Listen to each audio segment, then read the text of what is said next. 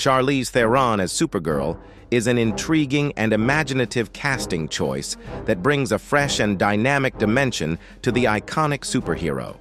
Known for her versatility and powerful screen presence, Theron has consistently delivered compelling performances across various genres, from action-packed roles in Mad Max Fury Road and Atomic Blonde to her Academy Award-winning turn in Monster.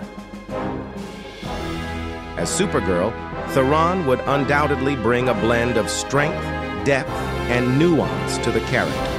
Her ability to portray both physical prowess and emotional complexity would resonate well with Supergirl's dual identity as both a formidable hero and a relatable, often conflicted individual. Theron's experience in action films ensures she could handle the demanding physicality of the role, while her dramatic chops would add layers to Supergirl's journey and struggles.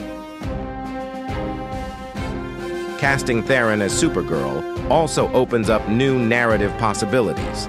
An older, seasoned Supergirl could provide a mentor figure to younger heroes, exploring themes of legacy, responsibility, and the evolution of heroism.